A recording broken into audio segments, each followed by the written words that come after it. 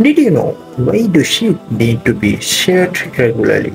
Sheep with their thick coats are known to provide us with wool for clothing. But shearing sheep isn't just about harvesting wool.